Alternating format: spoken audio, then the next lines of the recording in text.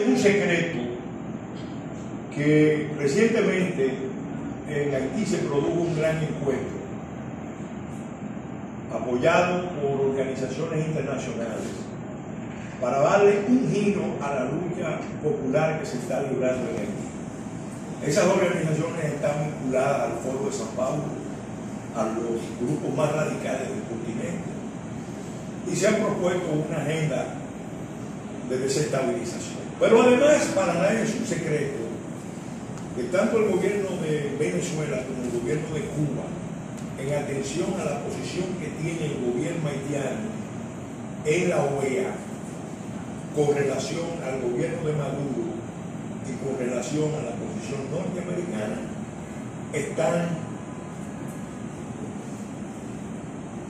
apoyando las movilizaciones, están alentando esas movilizaciones y a eso se suman sectores de poder en los Estados Unidos que están también en un plan desde hace muchos años de imponer la solución dominicana al problema haitiano.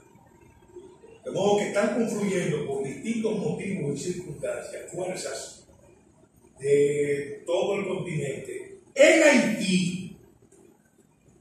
y obviamente la estrategia desde un principio es tratar de atraer a República Dominicana al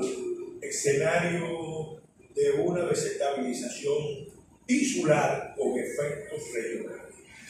Los regímenes que más ganarían